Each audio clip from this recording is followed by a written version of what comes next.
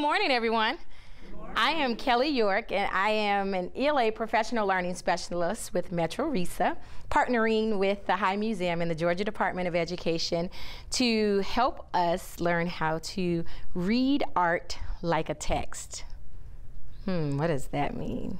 Have some conversation about how do you actually help kids get into, through, and beyond the text. Go.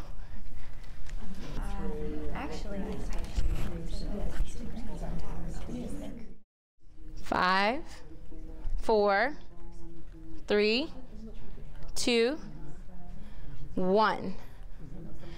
All right, so we're gonna share. You'll hear me say we're gonna spirit share. That means share as the spirit moves you, and the spirit should move you.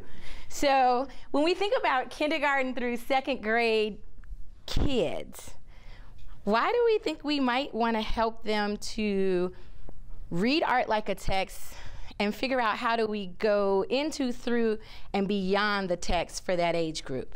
Can you spirit share for me? Well, I was thinking about, first of all, looking at how, what that art reminds them of. You know, how, how can they kind of make a connection with that art that we're looking at so that we establish a base okay. for them to move up from there into so, analyzing. So Dee Dee said we're going to establish a base and we're going to help them to understand that build on hers for me. Well, like Dee Dee says, you're going to establish that base when you're working with a child with um, a book. Okay. A primary child with a book. You're going to introduce that book by showing it to them, um, showing them the different parts of the book, and start asking them questions about what they're seeing. So then they can project some of what they're seeing perhaps into the future to try to predict and I would think you'd use the same strategies with a piece of art. Absolutely. So as we go through, we want to be mindful of how we'll be evaluated, um, and we want to be really thoughtful when we get to the point where we're planning um, our teacher performance standards. We're going to be focusing on instructional strategies today, and if in fact we improve our instructional strategies and if we're attentive to them, during planning, then we can kind of simultaneously create academically challenging environments and they will work hand in hand. So our goals for today is that we'll walk away being able to deepen our understandings of how to get kids into, through, and beyond the text. And we're going to do that with um, the LEAP strategy, and I'll explain more of that in a minute. And then we're also going to understand um, better strategies for how we'll help students to read art like a text to ultimately enable them to write. So when we think visual literacy, right? Reading art like a text that's just what it is. When I say literacy, what comes to mind? Reading. Reading. Writing. Writing. Writing. Writing. Writing. Writing. Reading and writing. Reading and writing. Reading and writing. Reading and writing. Lindsay? Same. Same. Reading and writing. Reading and writing. But then when I say visual, what comes to mind? Reading. Reading. Seeing. Seeing. Words. Words. Seeing. Seeing. Understanding. Understanding. Interpreting. Interpreting. Lindsay? Associating. Associating. Cassandra? Analyzing and seeing. Analyzing and seeing. And at K2, they can do all of those things. It looks a little differently. So visual literacy, guys, is the ability to interpret and make meaning of the relationship between language and images. Let's think about that. It's having the skills that we use in linguistic literacy, which is printed text, right?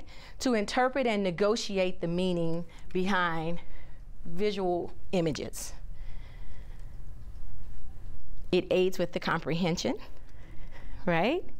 It also is a way to get them in and take them through a particular text. So let's go and see how we're going to do that. Help students to recognize the relationship between visual images and everyday lives. We're going to help engage and stimulate students with the content, and then it helps to enhance their reading and writing skills. So ding, ding, ding, give yourselves a round of applause because you all got the right answer, right? We added value to that. Did you guys know that in the same, in the same instance, one glance at a picture gives you 48,000 times more possibility to retain it than if you read the same text coupled with that picture. It stays longer. Images go directly into our long term memory. Words, what are we doing? At K2, we're grappling with what letter is that? Is it a B or is it a P or is it a D or is it a Q? So that's normal developmentally. However, we want them to retain the information so we can continue to build. Why? Because they're learning to read. And in learning to read at this point, images help us to take their level of interpretation to a whole nother level. Okay? And so images are the stimuli that we're going to use for writing today. They give students experiences. And for a minute, you guys are going to wear student hats. So you'll be participants and we'll flip flop between your participant hat and your facilitator of learning just to think through what might be some bridges and barriers that you run into when you think about images that um, may have a lot of details. Um, what are some barriers that we might run into there? Visual barriers. Visual barriers. Okay, when you say visual barriers, what it, and expand that thinking Well, it could me. be all, it could be different kinds of visual barriers. It could be actually a visual problem that someone may be experiencing. Okay. Or it could be um, that what they're looking at they're not familiar with, so it's a new concept for them Yes. that they're having to learn. Dee Dee, what do you teach? I'm a speech pathologist. ah, okay. Any other thinking ab- around that? Limited life experiences, limited social experiences when they're looking at something, so they can't make that connection. because they don't have anything to pull from. And so, also, as we are transitioning and broadening our scope with our standards, images also give us a way to take kids on those virtual field trips to create the experiences to allow them to pull readily from those. Once we pair them with text, these are just helping to enhance, by analyzing the images, it's helping to enhance their close observation skills. So that close reading, we're helping them to do that with the images. All right. Now, are you, who's, raise your hand. You ready to take the leap? All right, Paula, help me out. What are we going to do when we look? What am I going to do when I look? I'm going to try to notice some details. All right. Georgia, what am I going to do when I evaluate? Well, I'm going to look to see maybe if I'm in K2 to see whether I like the picture or not, whether I am impressed with it or whether I'm familiar with it, whether I think it's a nice picture or not a nice picture. Absolutely. And tell me your name again. Melanie. Melanie, what are we going to do when we analyze? I'm looking at the picture to see what the author intended Hmm. and what it means to me. What story it's telling, huh? Okay. And then tell me your name again. Gina? Okay, Gina, we're going to produce. What happens when we produce? Uh, I'm going to create something, I'm going to make something. And so, as teachers, it's important for our product to actually be aligned to those standards for us to assess did they get it? Where were some misconceptions? And where maybe do we need to tweak it, stop, and make some adjustments? And so, in doing that, um, we're going to use the LEAP strategy in order to navigate how we're going to analyze some a sculpture, actually, but I'm, I'm going to give it to you here. But how we're going to analyze this and look deeper to see what was the author's intended meaning. I purposefully don't have the title on there. Um, and I would encourage you, if you're doing this or when you're doing this with your students, that you leave the title off at first. We want to give them, uh, from the beginning, as little as we can to not get in the way of their thinking to allow their thinking to just soar. There are no wrong answers. If they want to say that that's a stick because they don't know what a staff is, it's okay. If they want to say those are two dogs, we're okay with that. Because when we're looking, we're just noticing. Right, Paula? We're just noticing. So let's go. So we're going to use that strategy. All right.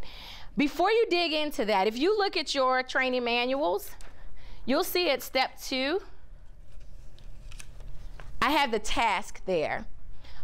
Always um, try to start with beginning with the end in mind so that students know where they're going. How many of you have had the kids who say, what are we doing today? Why are we doing this? Is this for a grade? I don't want to be your partner, right? We have that. Am I the only one?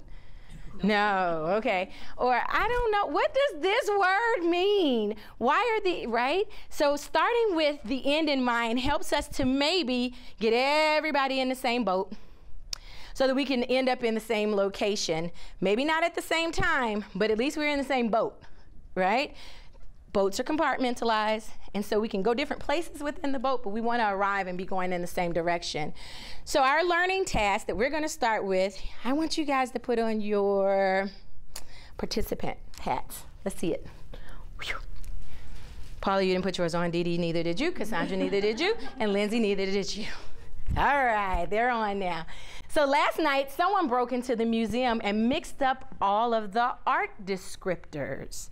And the art descriptors class are the things that will tell us about these individual pieces of art, right? The images, whether it's a photograph, but they're the descriptors that give us some information about the artist. It gives us information about background knowledge. It gives us information about what they were thinking when they created it, okay? But somebody broke into the museum and mixed them all up. Oh no, cried the museum curator. We have a thousand students coming tomorrow. They have to analyze all the uh, descriptors to see if they're true, to see if the facts are true. They're working on their projects. Can you guys help the curator locate the descriptors for your piece of art? Thumbs up. We're going to use the LEAP strategy quadrant, you guys. You guys are going to use words to create a shape, a story, a shape story of any object of your choosing to help the museum curator locate the descriptor for your work of art. So on your tables, you have your work of art. Okay? We're going to use that strategy to go through. Once I want once you do that, you guys can either imitate one of the examples that's in your training manual or you can select one of your own. So you don't necessarily have to do, that really is supposed to be a dog, that first image. Okay, it's some animal of sort because animals, what? We have search dogs who help us to locate things and find things. The sun might be above our descriptor that we're trying to find that matches our piece of art to really get us there and highlight, here I am, right? The star, same thing, leading to the direction because the goal is this is our work of art and we're helping who? What's that word? What is a curator? It's the person that collects the um, collects and displays the artwork. Lindsay looks like she doesn't agree. Guys, turn and talk to your neighbor and find out what's a curator. All right, Georgia. What's a curator? Keeper of the museum. Keeper of the museum. So we're in agreement that we're going to help the person who keeps the art safe in the museum to find the descriptor that goes with our work of art. Ready? What I'd like for you to do, I'm going to set the timer for 30 seconds. For 30 seconds, all I want you to do, and you should each have your own on your table, okay? All I want you to do is to just look and notice. You can write on your picture, you can use your white space on your manual, but I'd like for you to just write what do you notice? What do you see that's happening? What are some hidden secrets in there? What's the story that the artist might be trying to tell? Okay? 30 seconds, go. Five, four, three, two, and one. All right. So what I'd like for you to do is make sure that you turn over your manual and that your LEAP strategy quadrant is up. Clap one time when you have it.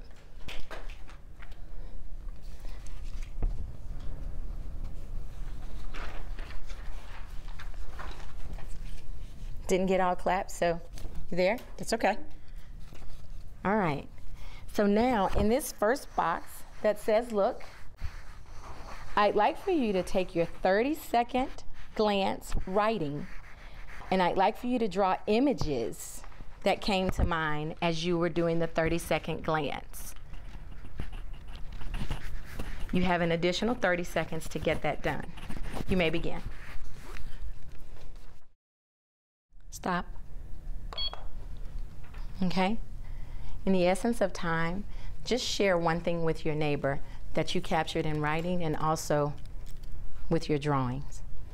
One thing, one thing per, a piece.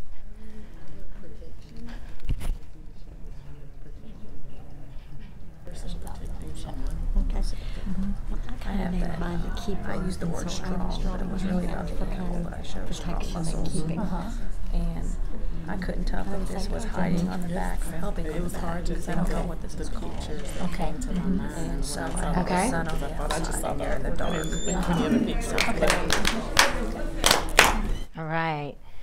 All right. So the look phase got us into our text. What is our text today? Culture. Good, Paula. That was the right answer. Give yourself a round of applause. All right. And so when we, um, now that we're into the text, how are we going? Now we're getting ready to go through the phases that will take us through the text, okay? And so the through, um, we're going to start with evaluate. What do you think this sculpture is about? What makes you say that? What message do you think the artist is trying to tell?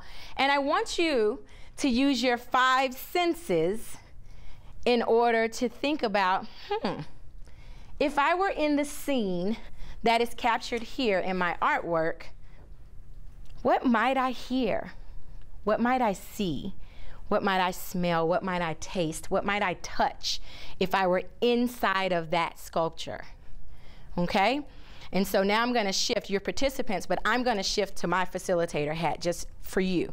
As a facilitators of learning for this age group, you would want to um, really, really kind of hone in here on that evaluation stage where they are using their five senses. That's something that's familiar to them. That's something that they readily use every day, and their imaginations are rampant. So you may have to make some norms for where they can and can't go in terms of their their thinking and what they might think smell because there's some words we may not want to smell on here if you look at the the sculpture, right? And so you want to think about that as a facilitator of learning. How would you set this up so that you kind of um, get wholesome answers, right? and um, graphic, yes, but wholesome.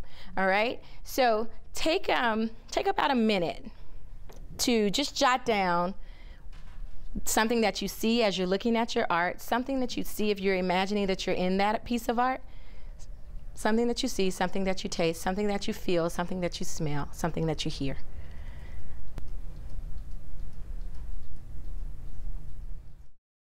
Bring your answers to a close.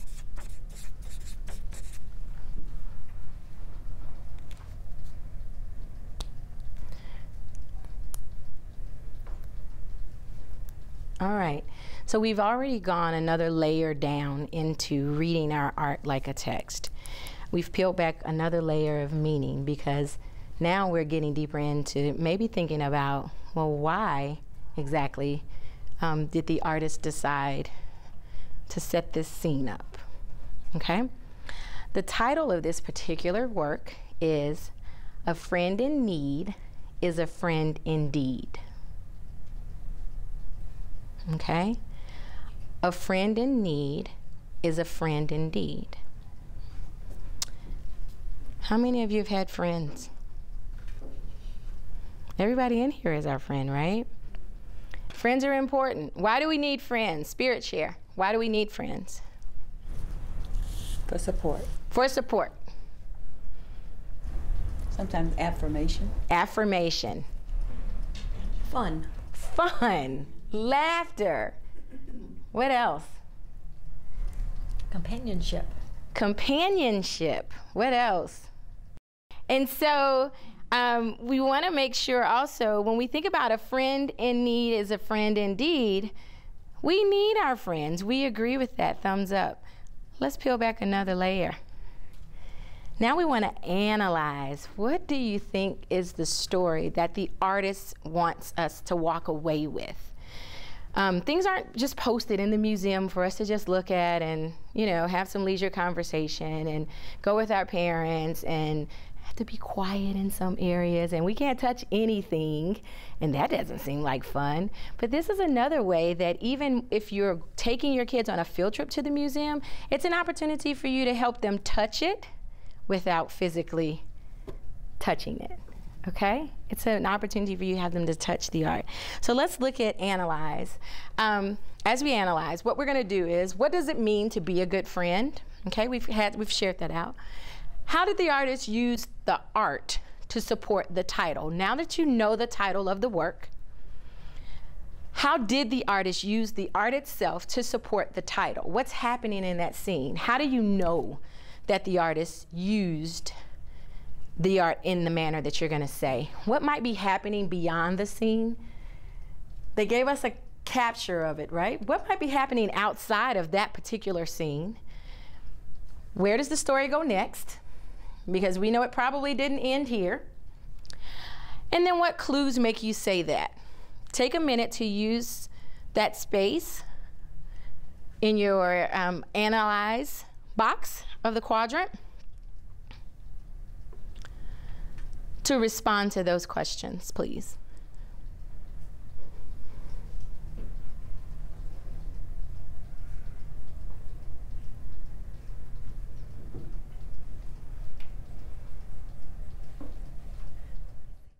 I'm going to shift gears for you for a minute.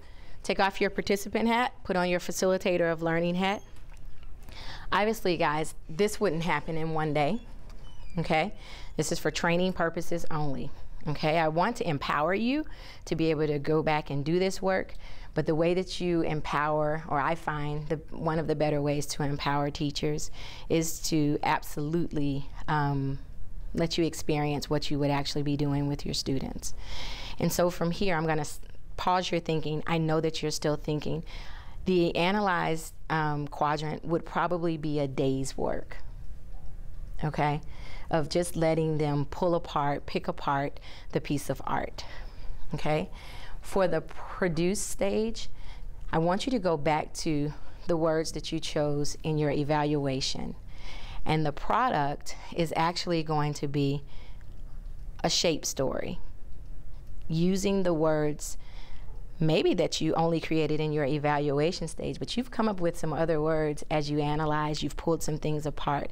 Obviously, there would have been a lot of conversation happening, okay? Some talking and some sharing, some videos being shown, um, just to support, help support, and build on the title, okay? Shift back, put on your participant hat. Very quickly, I'd like for you to produce what we've asked at the bottom. Um, before we move, I'm sorry, shift back. Put your facilitator's hat on. Um, I would actually have the kids for the analyzing stage just to get an understanding of what they were writing or what they were thinking, especially, let's say that the teacher, um, if you decided to do this first semester, then you may not have students, if you're a kindergarten teacher, that are writing yet and that are really writing well, who can do this thinking. So acting out the word and maybe giving a story bank, maybe giving some supports up front to help those students to still be able to do this work, to still analyze, to still evaluate, to still look at art, and to still give you a product. Um, being able to act out the word also seals the deal mentally for our K2 learners, okay? And so we would have been up and moving and acting. Um, with those particular words and with that analyzing point. Share one, tell me one thing you wrote in your analyzing. I said the shepherd is a friend to the lamb as he tries to save him from predators. That can be acted out, right? Okay, and so you want to have some sentences already prepared so that you can get up here and act out. You know, the shepherd was afraid, right? Um, the shepherd was a friend. Holding out your hand, right? And I'm, I might make her get up and lead her with me, right? She's like, hey. okay? So, your product, real quickly, real quickly, um, I'd like for you to just kind of sketch some kind, it can be a snake, right? It can be a snake, but just a real quick shape story to show the product, which would actually capture what we've looked at, what we've evaluated, and what we've analyzed using our five senses to meet the needs of our younger learners. So, using your five senses, imagine that you're trapped inside the sculpture. We've done that. What can you see, smell, touch, taste, and feel? Use the artwork as evidence and write five to eight words to support your thinking. You have five to eight words already there to support your thinking. So, we're going to revisit the learning task. Because what was our learning task? We began with the end in mind. Ultimately, we did all of this in order to create what? Script description. Description for the curator, mm-hmm. right? We're going to put it in the form of a shape story. And we'll give our shape stories to the curator to enable the curator to read our stories and match it with our piece of art. Does that make sense? Okay? Mm-hmm. And so those are my words there. All right, so you have to tell me what this poster here says. Okay, so you said a stick and grass. A man. Mm-hmm. A man. What else? Fur. What else? Browse.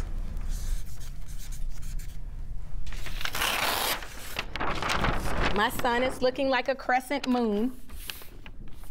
But I'm going to start over here. Fur, growls, a man, grass. What's missing? I connected it to a stick. I'm going to do a stick down here. Again, fur, grass, growls. Lindsay, give me one word from yours. Friend. Friend. Georgia, give me one word from yours. Fur. Fur. That's okay. Protects. Protects. Struggle. Struggle. Scary. Scary. Scream. Scream. Innocence. Innocence. Teeth. Calm. Teeth. Teeth. Dog. Lion. Lamb. I'm going to give this to the curator. You think we would help that curator find our work of art? Just using our shape stories? Yes? Yes. All right. What shapes did we come up with? Did everybody do a sun? No? And those are some examples there. And so, guys, what I want you to do is just find one partner who's furthest away from you real quickly. I want you to share your individual shape story with them. You have like two seconds, okay? So, actually, kind of do it, but editing. Let's go. Share your shape story with them.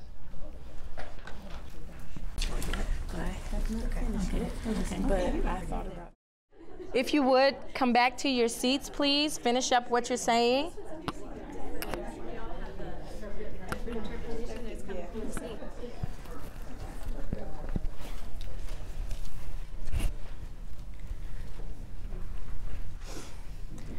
All right, based on that conversation, Paula, what's one thing that our group thinks the artist wanted to tell as it relates to a friend in need is a friend indeed? that there is um, strength there, that there's s- some strength there amongst friends trying to help each other. And I think what we saw was the the man protecting the lamb and his friend, the dog, protecting him. So Awesome. some strength there. Okay? Caring. Caring. There's a lot of caring there, both um, in, for the dog, for the man in coming to his protection, the man for his charge of the sheep, and for the dog. Yes. Cassandra. Protection came up for me as well. The man is protecting the lamb, and then the dog is protecting the man. Yes. Lindsay. Uh, between us, we kind of had the common theme of almost a wall of safety. The friend is that wall of safety. Okay. Friend is a wall of safety. Anybody have anything different that you'd like to add to the discussion? No? Any final thoughts? We need our friends, right? So, have we accomplished our goal? Because our goal was to help the curator. Have we accomplished that, do we think? We've done a good job with that. Guys, I'd like to thank you guys. Today could not have happened without you. I'd like to thank you for joining me. Um, hopefully, I've empowered you to take this work and go do it now. Um, and so, the first piece that we were going to look at is actually a 3D piece. Um, of art. It's a sculpture. So what I'd like for you guys to do as you do your 30 second look on this one, instead of standing on one side, I want you to kind of take a stroll around the work of art. Look at all the details. And I'm going to give you 30 seconds to stroll first, and then we're going to actually talk about what you see after that 30 second stroll, okay? All right. You may begin.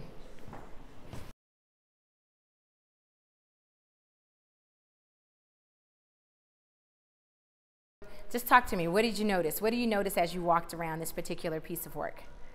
One of the things that I, I saw that I, when I originally looked at it, I thought that the mountain lion was trying to get to the lamb. But in walking around and seeing it from all points of view, I'm not so sure now whether he's going after the lamb or he's going after the man. It looks like he's knocked over the man and is, is going after the man. Okay. Mm-hmm. I just see a lot of strength. Uh-huh. Strength in the animals, strength in the man, strength in the staff that's holding things up. I see protection. Mm-hmm. I see. And what makes you say that? the shepherd is protecting the lamb, Okay. and then the dog. And I wasn't sure if it was a dog, but it has a collar that says shepherd. It says shepherd, German shepherd perhaps, mm-hmm. is protecting the man by attacking the lion. Mm-hmm. okay. Anybody else?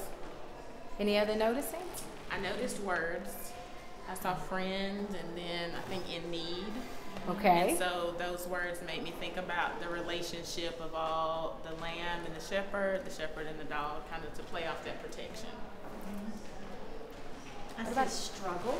Okay. Um, and I see a strength in like the limbs of the body, the arm and the legs. Um, and then I do see the protection of the lamb and um, that he does not seem aware really of the struggle that is going on above him. That he just seems unfazed by what is happening above him. You said that you saw in writing down there that it said a friend. And so that's the title of this particular work of art. It actually is A Friend in Need is a Friend Indeed. And so, who do you think is needing a friend in this particular work? Thank you.